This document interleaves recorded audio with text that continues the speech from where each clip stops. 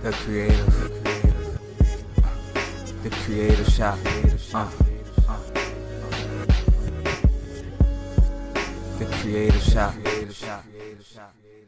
My name is Davion Coleman, and this is Artist Insight. The idea behind this piece was to incorporate the entire I Have a Dream speech into the painting. And one of the things that I wanted to stand out was some of the words in the speech, which is why I emphasized on creating texture in certain areas of the painting. Because I wanted the words to stand out, not just stand out visually, but stand out physically to the point where you can feel the words.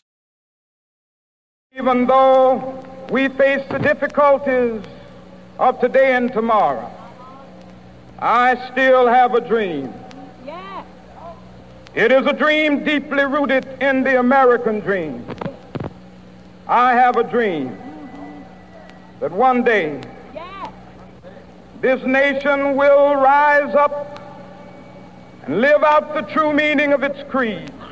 We hold these truths to be self-evident that all men are created equal.